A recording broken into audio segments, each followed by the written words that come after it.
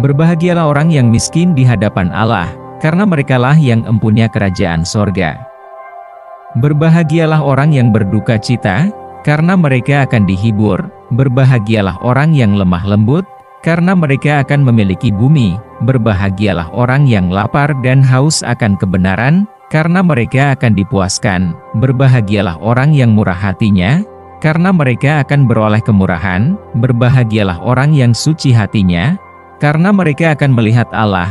Berbahagialah orang yang membawa damai, karena mereka akan disebut anak-anak Allah. Berbahagialah orang yang dianiaya oleh sebab kebenaran, karena merekalah yang empunya kerajaan sorga. Berbahagialah kamu, jika karena aku kamu dicela dan dianiaya dan kepadamu difitnahkan segala yang jahat. Bersukacita dan bergembiralah, karena upahmu besar di sorga, sebab demikian juga telah dianiaya nabi-nabi yang sebelum kamu, kamu adalah garam dunia. Jika garam itu menjadi tawar, dengan apakah ia diasinkan? Tidak ada lagi gunanya selain dibuang dan diinjak orang, kamu adalah terang dunia.